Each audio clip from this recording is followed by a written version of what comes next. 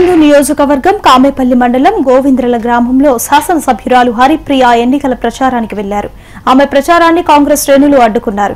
ఇటీవల ఆమె పార్టీ మారడంపై కాంగ్రెస్ శ్రేణులు అసహనంగా ఉన్నారు. దీంతో అక్కడ కాంగ్రెస్ టీఆర్ఎస్ శ్రేణుల మధ్య వివాదం ఘర్షణకు దారితీసింది.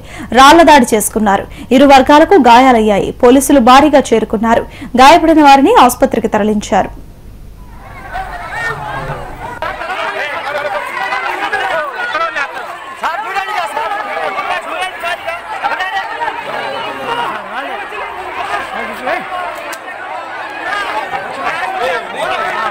లోపల పోయింది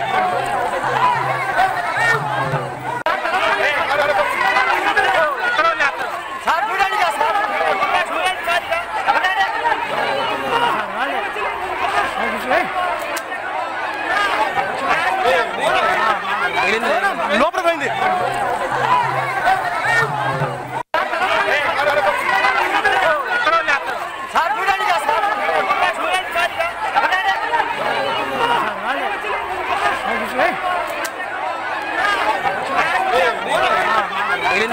não para.